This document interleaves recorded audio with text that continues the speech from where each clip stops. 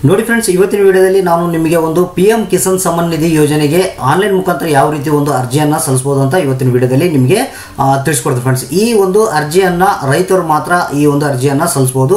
ಮತ್ತು ಈ ಅರ್ಜಿಯನ್ನು ಸಲ್ಲಿಸಿದರೆ ನೀವು ನಿಮ್ಮ ಒಂದು ಅಕೌಂಟಿಗೆ ಡೈರೆಕ್ಟಾಗಿ ಆರು ಸಾವಿರ ರೂಪಾಯಿ ಅಕೌಂಟು ಒಂದು ಬರುತ್ತೆ ಅಂತಲೇ ಹೇಳ್ಬೋದು ಫ್ರೆಂಡ್ಸ್ ಹಾಗಾದರೆ ಆನ್ಲೈನ್ ಮುಖಾಂತರ ರೈತರು ಯಾವ ರೀತಿ ಒಂದು ಪಿ ಎಂ ಕಿಸಾನ್ ಸಮ್ಮಾನ್ ನಿಧಿ ಯೋಜನೆಗೆ ಅರ್ಜಿಯನ್ನು ಸಲ್ಲಿಸಬೇಕು ಅನ್ನೋದನ್ನು ಇವತ್ತಿನ ವಿಡಿಯೋದಲ್ಲಿ ನಾನು ನಿಮಗೆ ತಿಳಿಸ್ಕೊಡ್ತೀನಿ ಫ್ರೆಂಡ್ಸ್ ಇದಕ್ಕಿಂತ ಮುಂಚಿತವಾಗಿ ನಾನು ಪಿ ಎಂ ಕಿಸಾನ್ ಸಮ್ ಒಂದು ಪಿ ಎಂ ಕಿಸಾನ್ ಸಮಾನ್ ನಿಧಿ ಯೋಜನೆಗೆ ಸಂಬಂಧಪಟ್ಟಂತೆ ಎರಡು ವಿಡಿಯೋಗಳನ್ನ ಮಾಡಿದ್ದೀನಿ. ಒಂದು ಕಿಸಾನ್ ಕ್ರೆಡಿಟ್ ಕಾರ್ಡ್ ಯಾವ ರೀತಿ ಒಂದು ಅಪ್ಲೈ ಮಾಡೋದು ಅಂದರೆ ಕಿಸಾನ್ ಕ್ರೆಡಿಟ್ ಕಾರ್ಡ್ಗೆ ಯಾವ ರೀತಿ ಅಪ್ಲೈ ಮಾಡೋದು, ಮತ್ತು ಪಿ ಎಂ ಕಿಸಾನ್ ಸಮಾನ್ ನಿಧಿ ಯೋಜನೆಗೆ ಒಂದು ಅರ್ಜಿಯನ್ನು ಸಲ್ಲಿಸಿದರೆ ಅವರ ಒಂದು ಬೆನಿಫಿಷರಿ ಲಿಸ್ಟನ್ನು ಯಾವ ರೀತಿ ಚೆಕ್ ಮಾಡೋದು ಅಂದರೆ ಸ್ಟೇಟಸ್ನ ಚೆಕ್ ಮಾಡೋದು ಅನ್ನೋದ್ರ ಬಗ್ಗೆ ಈ ಎರಡು ವಿಡಿಯೋಗಳನ್ನ ನಾನು ಮಾಡಿದ್ದೀನಿ. ಆ ವಿಡಿಯೋ, ಆ ವಿಡಿಯೋಗಳನ್ನ ನೀವು ನೋಡಬೇಕಂದ್ರೆ ಕೆಳಗಡೆ ಡಿಸ್ಕ್ರಿಪ್ಷನ್ ಬಾಕ್ಸ್ನಲ್ಲಿ ಅದರ ಲಿಂಕ್ ಕೂಡ ಇರುತ್ತೆ ಫ್ರೆಂಡ್ಸ್ ಅಲ್ಲಿ ಹೋಗಿ ನೀವು ಚೆಕ್ ಮಾಡ್ಕೊಬೋದು ಹಾಗಾದರೆ ಇವತ್ತಿನ ವಿಡಿಯೋದಲ್ಲಿ ನಾನು ನಿಮಗೆ ಒಂದು ಆನ್ಲೈನ್ ಮುಖಾಂತರ ಪಿ ಎಂ ಕಿಸಾನ್ ಸಮಾನ್ ನಿಧಿ ಯೋಜನೆಗೆ ಸಂಬಂಧಪಟ್ಟಂತೆ ಅರ್ಜಿಯನ್ನು ಯಾವ ರೀತಿ ಹಾಕೋದು ಅನ್ನೋದನ್ನು ಇವತ್ತಿನ ವಿಡಿಯೋದಲ್ಲಿ ನಾನು ನಿಮಗೆ ತಿಳಿಸ್ಕೊಡ್ತೀನಿ ಫ್ರೆಂಡ್ಸ್ ಹಾಗಾದರೆ ಬನ್ನಿ ಫ್ರೆಂಡ್ಸ್ ನೋಡೋಣ.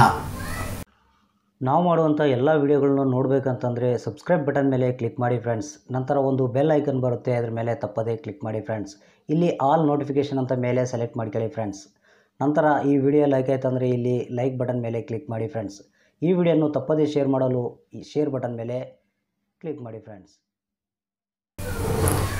ನೋಡಿ ಫ್ರೆಂಡ್ಸ್ ಮೊದಲಿಗೆ ನೀವು ಒಂದು ಸರ್ಚ್ ಬಾರ್ನಲ್ಲಿ ಒಂದು ಏನು ನಿಮ್ಮ ಒಂದು ಡೆಸ್ಕ್ಟಾಪ್ನಲ್ಲಿ ಒಂದು ಯಾವುದಾದ್ರೂ ಒಂದು ವೆಬ್ ಸರ್ಚರ್ನ ನೀವು ಓಪನ್ ಮಾಡ್ಕೊಳ್ಳಿ. ಇಲ್ಲಿ ನಾನು ಗೂಗಲ್ ಕ್ರೋಮ್ನ ಓಪನ್ ಮಾಡ್ಕೊಂತ ಇದ್ದೀನಿ.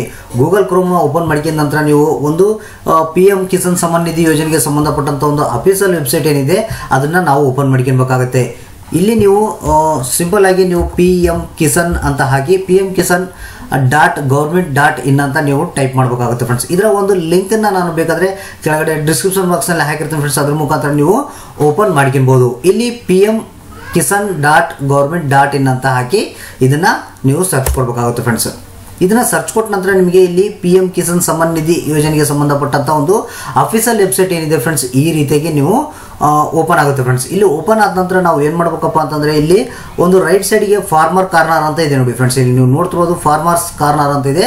ಅದರಲ್ಲಿ ಬಂದರೆ ಮೊದಲೇ ಆಪ್ಷನ್ ನೀವು ಫಾರ್ಮರ್ ರಿಜಿಸ್ಟ್ರೇಷನ್ ಅಂತ ಇದೆ ಫ್ರೆಂಡ್ಸ್ ಇದ್ರ ಮೇಲೆ ನಾವು ಕ್ಲಿಕ್ ಮಾಡಬೇಕಾಗುತ್ತೆ. ಇಲ್ಲಿ ನಾವು ಕ್ಲಿಕ್ ಮಾಡಿದರೆ ನಿಮಗೆ ಮೊದಲಿಗೆ ನಿಮ್ಮ ಒಂದು ಆಧಾರ್ ಕಾರ್ಡ್ ನಂಬರ್ನ ಹಾಕಬೇಕಾಗುತ್ತೆ. ಆಮೇಲೆ ಒಂದು ಇಲ್ಲಿ ಕ್ಯಾಪ್ಚರ್ ಕೋಡ್ ಇದೆ ಫ್ರೆಂಡ್ಸ್ ಆ ಕ್ಯಾಪ್ಚರ್ ಕೋಡ್ನ ಒಂದು ಇಮೇಜ್ ಟೆಕ್ಸ್ಟ್ನ ಇಲ್ಲಿ ಹಾಕಿ ನಾವು ಒಂದು ಇಲ್ಲಿ ಕಂಟಿನ್ಯೂ ಅಂತ ಇದೆಯಲ್ಲ ಫ್ರೆಂಡ್ಸ್ ಈ ಬಟನ್ ಮೇಲೆ ಕ್ಲಿಕ್ ಮಾಡಬೇಕಾಗುತ್ತೆ ಹಾಗಾದರೆ ಯಾವ ರೀತಿ ಅನ್ನೋದನ್ನು ನಾವು ತೋರಿಸ್ತೀನಿ. ಈಗ ಆಧಾರ್ ಕಾರ್ಡ್ ನಂಬರ್ನ ಹಾಕೋಣ. ನೀವು ಕೂಡ ಇದನ್ನು ಅದೇ ರೀತಿಗೆ ಫಾಲೋ ಅಪ್ ಮಾಡಬೇಕಾಗುತ್ತೆ.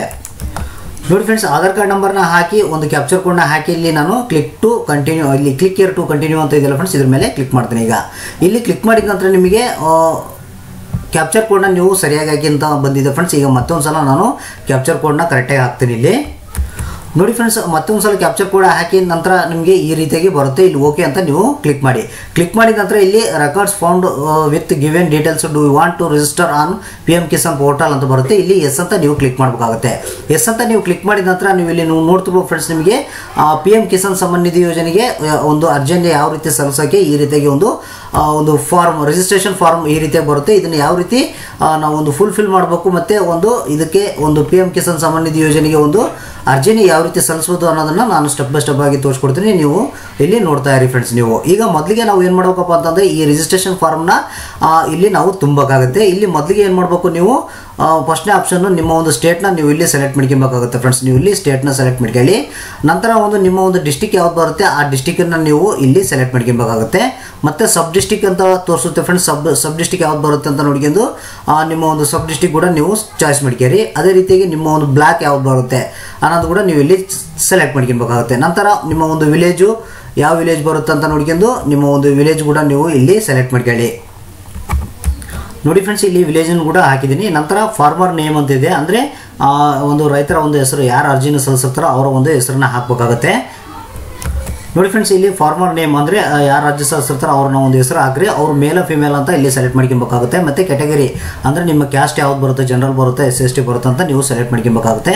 ಮತ್ತು ಫಾರ್ಮರ್ ಟೈಪ್ ಅಂತಂದರೆ ನೀವು ಏನು ಸ್ಮಾಲ್ ಅಂದರೆ ಸಣ್ಣ ರೈತರ, ಅತಿ ಸಣ್ಣ ರೈತರ, ಒಂದು ಅಥವಾ ಎರಡು ಹೆಕ್ಟರ್ ಇರುವಂಥ ಒಂದು ರೈತರ, ಮತ್ತು ಅದಕ್ಕಿಂತ ಜಾಸ್ತಿ ಇರೋಂಥರ ಅಂತ ನೀವು ಇಲ್ಲಿ ಸೆಲೆಕ್ಟ್ ಮಾಡ್ಕೊಬೇಕಾಗುತ್ತೆ. ಸ್ಮಾಲ್ ಅಂದರೆ ಸಣ್ಣ ರೈತರ ಇದ್ದರೆ ಒಂದು ಎರಡು ಎಕರೆ ಇರೋಂಥ ಇದ್ರೆ ಸ್ಮಾಲ್ ಅಂತ ಕ್ಲಿಕ್ ಮಾಡ್ಕೊರಿ. ಅದ್ರ ಮೇಲೆ ಇತ್ತಪ್ಪ ಅಂತಂದರೆ ಅದರ್ ಅಂತ ನೀವು ಕ್ಲಿಕ್ ಮಾಡ್ಕೊಬೇಕಾಗುತ್ತೆ. ಇಲ್ಲಿ ನಾನು ಅದನ್ನು ಕ್ಲಿಕ್ ಮಾಡ್ಕೊಂಡಿದ್ದೀನಿ. ನಂತರ ಇಲ್ಲಿ ನಿಮ್ಮ ಒಂದು ಟೈಪ್ ಆಫ್ ಐಡೆಂಟಿಟಿ ಅಂದರೆ ಆಧಾರ್ ಕಾರ್ಡ್ ಅಂತ ಸೆಲೆಕ್ಟ್ ಆಗಿದೆ ಫ್ರೆಂಡ್ಸ್ ಇಲ್ಲಿ ನೀವು ನೋಡ್ತಿರ್ಬೋದು. ಆಧಾರ್ ಕಾರ್ಡ್ ಅಂತ ಇದೆ. ಆಧಾರ್ ಕಾರ್ಡ್ನ ನೀವು ಸೇಮ್ ಆಸ್ ಇಟ್ ಅದೇ ಅದೇ ರೀತಿ ಇರೋಕ್ಕೆ ಬಿಡಿ.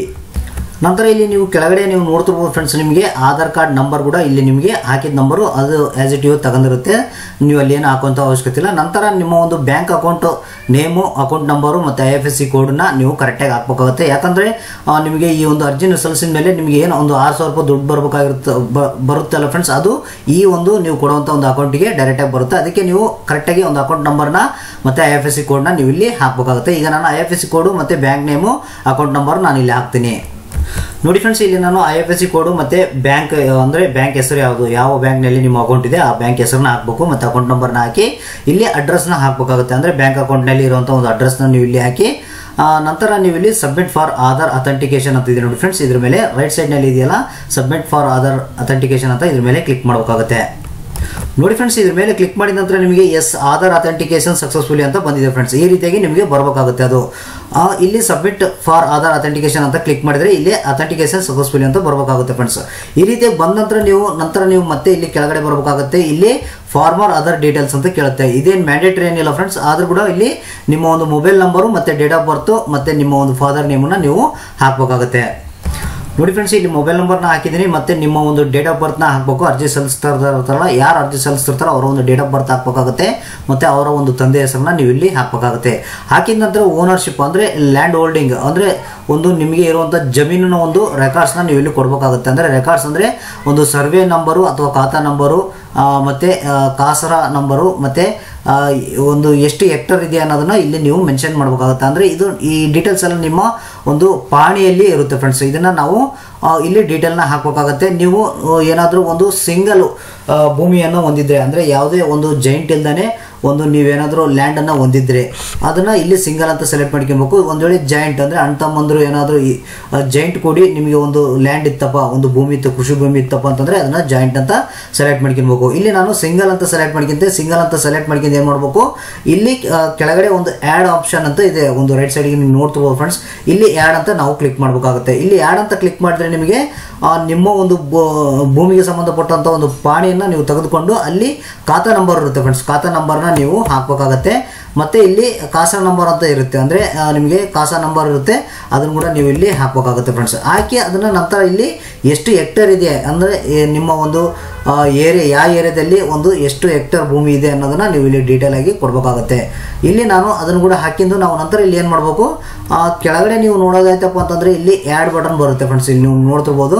ಆ್ಯಡ್ ಅಂತ ಕೊಡಬೇಕಾಗುತ್ತೆ ಫ್ರೆಂಡ್ಸ್ ಇಲ್ಲಿ ಆ್ಯಡ್ ಅಂತ ಕೊಟ್ಬಿಟ್ರೆ ಅದು ನಿಮಗೆ ನಿಮ್ಮ ಒಂದು ಕೊಟ್ಟಂಥ ಒಂದು ಭೂಮಿಗೆ ಸಂಬಂಧಪಟ್ಟಂಥ ಒಂದು ಲ್ಯಾಂಡ್ಗೆ ಸಂಬಂಧಪಟ್ಟಂಥ ಇನ್ಫಾರ್ಮೇಷನ್ ಆ್ಯಡ್ ಆಗುತ್ತೆ ಫ್ರೆಂಡ್ಸ್ ಅದೇ ರೀತಿಯಾಗಿ ನೀವು ಒಂದಕ್ಕಿಂತ ಹೆಚ್ಚು ಭೂಮಿಯನ್ನು ಹೊಂದಿದ್ರೆ ಅದಕ್ಕೆ ಸ, ಮತ್ತೆ ಇನ್ನೊಂದು ಆ್ಯಡ್ ಆಪ್ಷನ್ ಮೇಲೆ ನಾವು ಹೋಗಿ ಅಲ್ಲಿ ಸೇಮ್ ಒಂದು ಸರ್ವೆ ನಂಬರು ಅಥವಾ ಖಾತಾ ನಂಬರು ಕಾಸರ ನಂಬರು ಮತ್ತು ಆ ಏರಿಯಾ ಎಕ್ಟರ್ನ ನೀವು ಇಲ್ಲಿ ಮೆನ್ಷನ್ ಮಾಡಿ ಮತ್ತೆ ಆ್ಯಡ್ ಅಂತ ಮಾಡಬೇಕಾಗುತ್ತೆ ಫ್ರೆಂಡ್ಸ್ ಈ ರೀತಿಯಾಗಿ ಆ್ಯಡ್ ಅಂತ ಮಾಡಿದ ನಂತರ ನೀವು ನೆಕ್ಸ್ಟ್ ನೆಕ್ಸ್ಟ್ ಏನು ಮಾಡ್ಬೇಕಪ್ಪ ಅಂತಂದರೆ ಇಲ್ಲಿ ಕೆಳಗಡೆ ಒಂದು ಸೆಲ್ಫ್ ಡಿಕ್ಲರೇಷನ್ ಫಾರ್ಮ್ ಅಂತ ಇದೆ ಫ್ರೆಂಡ್ಸ್ ನೀವು ನೋಡ್ತಿರ್ಬೋದು, ಇಲ್ಲಿ ಕೆಳಗಡೆ ಒಂದು ಲೆಫ್ಟ್ ಸೈಡ್ಗೆ ಒಂದು ಬಾಕ್ಸ್ ಇದೆ. ಇದನ್ನು ನಾವು ಸೆಲೆಕ್ಟ್ ಮಾಡ್ಕೊಂಡು ನಾವು ಸೆಲ್ಫ್ ಡಿಕ್ಲರೇಷನ್ಗೆ ಒಂದು ಅಗ್ರಿ ಇದ್ದೇವೆ ಅನ್ನೋದನ್ನು ಇಲ್ಲಿ ಸೆಲೆಕ್ಟ್ ಮಾಡ್ಕೊಂಡು ಕನ್ಫರ್ಮ್ ಮಾಡಬೇಕಾಗುತ್ತೆ.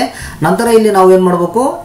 ಜಸ್ಟ್ ನಾವು ಸೇವ್ ಅಂತ ಕ್ಲಿಕ್ ಮಾಡಬೇಕಾಗುತ್ತೆ ಫ್ರೆಂಡ್ಸ್ ಅಂದರೆ ಇದನ್ನು ಜಸ್ಟ್ ನಾನು ನಿಮಗೆ ಒಂದು ಅರ್ಜಿನ ಯಾವ ರೀತಿ ಸಲ್ಲಿಸೋ ಸಲುವಾಗಿ ಅನ್ನೋದ್ರ ಸಲುವಾಗಿ ನಾನು ತಿಳಿಸ್ಕೊಡ್ತಿದ್ದೀನಿ ಇಲ್ಲಿ ಸೇವ್ ಮಾಡೋದಿಲ್ಲ ಫ್ರೆಂಡ್ಸ್ ನಾನೀಗ. ನೀವೇನು ಮಾಡಬೇಕು? ಸೇವ್ ಅಂತ ಕೊಡಬೇಕಾಗುತ್ತೆ. ಸೇವ್ ಅಂತ ಕೊಟ್ಟ ನಂತರ ನಿಮಗೆ ಒಂದು ಪಿ ಎಂ ಕಿಸಾನ್ ಸಮ್ಮಾನ್ ನಿಧಿಗೆ ಸಂಬಂಧಪಟ್ಟಂಥ ಒಂದು ಐ ಡಿ ನಂಬರ್ ಬರುತ್ತೆ. ಆ ಐ ಡಿ ನಂಬರ್ನ ಒಂದು ಫೋಟೋ ತೆಗೆದಿಟ್ಕೊಳ್ಳಿ ಅಥವಾ ಒಂದು ಸೈಡ್ ಬರೆದಿಟ್ಕೊಬೇಕಾಗುತ್ತೆ ಫ್ರೆಂಡ್ಸ್ ನೀವು ಯಾಕಂದರೆ ಇನ್ ಕೇಸ್ ನಿಮಗೆ ಮುಂದೆ ಏನಾದರೂ ಅದು ಸ್ಟೇಟಸ್ ಚೆಕ್ ಮಾಡಬೇಕಂದ್ರೆ ಆ ಒಂದು ಐ ಡಿ ನಂಬರ್ನ ಹಾಕಬೇಕಾಗುತ್ತೆ. ಅಥವಾ ನೀವೇನಾದರೂ ಎಲ್ಲೇ ಒಂದು ಎನ್ಕ್ವೈರಿ ಮಾಡಬೇಕಂತಂದರೆ ಆ ಐ ಡಿ ನಂಬರ್ ಇದ್ರೆ ಸಾಕು ಫ್ರೆಂಡ್ಸ್ ನಿಮಗೆ ಅದರ ಒಂದು ಮಾಹಿತಿನ ನೀವು ತಿಳ್ಕೊಬೋದು. ಒಂದು ಐ ಡಿ ನಂಬರ್ ಬರುತ್ತೆ ಫ್ರೆಂಡ್ಸ್ ಆ ಐ ಡಿ ನಂಬರ್ನ ಒಂದು ಕಡೆಗೆ ಬರೆದು ಇಟ್ಕೊಬೇಕು. ನಂತರ ನೀವು ಅದರ ಒಂದು ನೀವು ಈಗೇನು ಅರ್ಜಿ ಸಲ್ಲಿಸಿರ್ತಿರಲ್ಲ, ಅರ್ಜಿ ಸಲ್ಲಿಸಿದ ನಂತರ ಅದನ್ನು ಯಾವ ರೀತಿ ಒಂದು ಅರ್ಜಿ ಒಂದು ವೆರಿಫಿಕೇಶನ್ ಆಗಿ ಸಕ್ಸಸ್ಫುಲ್ ಆಗಿದೆ ಇಲ್ಲ ಅಂತ ಸ್ಟೇಟಸ್ನ ಯಾವ ರೀತಿ ಚೆಕ್ ಮಾಡೋದು ಅನ್ನೋದು ಕೂಡ ನಾನು ನಿಮಗೆ ತಿಳಿಸ್ತೀನಿ. ನೀವೇನು ಮಾಡಬೇಕು, ಸೀದಾ ಇದೇ ಓಮ್ ಪೇಜ್ಗೆ ನೀವು ಹೋಗ್ಬೇಕಾಗುತ್ತೆ ಫ್ರೆಂಡ್ಸ್ ಇಲ್ಲಿ ನೀವು ಓಮ್ ಅಂತ ಮೇಲೆ ಇದೆ, ಒಂದು ವೆಬ್ಸೈಟ್ಗೆ ಓಮ್ ಬಟನ್ ಮೇಲೆ ನೀವು ಕ್ಲಿಕ್ ಮಾಡಿದ್ರೆ ನಿಮಗೆ ಸೇಮ್ ಇದೇ ಒಂದು ಪಿ ಎಂ ಕಿಸಾನ್ ಸಮ್ಮಾನ್ ನಿಧಿ ಯೋಜನೆಗೆ ಸಂಬಂಧಪಟ್ಟಂಥ ಅಫಿಷಿಯಲ್ ವೆಬ್ಸೈಟ್ನಲ್ಲಿ ಫಾರ್ಮರ್ ಕಾರ್ನರ್ ಅಂತ ಒಂದು ಆಪ್ಷನ್ ಅಂದರೆ ಫಸ್ಟಿಗೆ ನೀವು ಏನು ಒಂದು ರಿಜಿಸ್ಟ್ರೇಷನ್ಗೆ ಬಂದಿರ್ತೀರಲ್ಲ, ಅಲ್ಲೇ ನೀವು ಅದೇ ಒಂದು ಆಪ್ಷನ್ ಮೇಲೆ ಬಂದರೆ ನಿಮಗೆ ಕೆಳಗಡೆ ಇಲ್ಲಿ ಒಂದು ಬೆನಿಫಿಷರಿ ಸ್ಟೇಟಸ್ ಅಂತ ಕಾಣ್ತಾ ಇದೆ ಫ್ರೆಂಡ್ಸ್ ನೀವು ನೋಡ್ತಿರ್ಬೋದು ಇಲ್ಲಿ. ಬೆನಿಫಿಷರಿ ಸ್ಟೇಟಸ್ ಅಂತ ನೀವು ಕ್ಲಿಕ್ ಮಾಡಿದ್ರೆ ಇಲ್ಲಿ ನಿಮಗೆ ಒಂದು ಸ್ಟೇಟಸ್ನ ಚೆಕ್ ಮಾಡ್ಬೋದು. ಅಂದರೆ ನೀವು ಕೊಟ್ಟಂಥ ಒಂದು ಆಧಾರ್ ನಂಬರ್ ಆದರೂ ಹಾಕ್ಬೋದು, ಅಥವಾ ನೀವು ಏನು ಬ್ಯಾಂಕ್ ಅಕೌಂಟ್ ನಂಬರ್ ಕೊಟ್ಟಿರ್ತಾರೆ ಅದಾದರೂ ಹಾಕ್ಬೋದು, ಅಥವಾ ನೀವು ಕೊಟ್ಟಂಥ ಒಂದು ಮೊಬೈಲ್ ನಂಬರ್ನ ಹಾಕಿ ಇಲ್ಲಿ ಗೆಟ್ ಡಾಟಾ ಅಂತ ನೀವು ಕ್ಲಿಕ್ ಮಾಡಬೇಕಾಗುತ್ತೆ. ಗೆಟ್ ಡಾಟಾ ಅಂತ ಕ್ಲಿಕ್ ಮಾಡಿದ್ರೆ ನೀವು ಒಂದು ಹಾಕಿದಂಥ ಒಂದು ಅರ್ಜಿ ಏನು ವೆರಿಫಿಕೇಶನ್ ಆಗಿದೆ ಇಲ್ಲ ಸಕ್ಸಸ್ ಆಗಿದೆ ಇಲ್ಲ ಅನ್ನೋದನ್ನ ನೀವು ಈಸಿಯಾಗಿ ಚೆಕ್ ಮಾಡ್ಬೋದು ಫ್ರೆಂಡ್ಸ್ ಈ ರೀತಿಯಾಗಿ ನೀವು ಒಂದು ಪಿ ಎಂ ಕಿಸಾನ್ ಸಮ್ಮಾನ್ ನಿಧಿ ಯೋಜನೆಗೆ ಅರ್ಜಿಯನ್ನು ಸಲ್ಲಿಸಿ ಇದರ ಒಂದು ಬೆನಿಫಿಟ್ನ ನೀವು ಪಡಿಬೋದು ಫ್ರೆಂಡ್ಸ್ ನೀವು.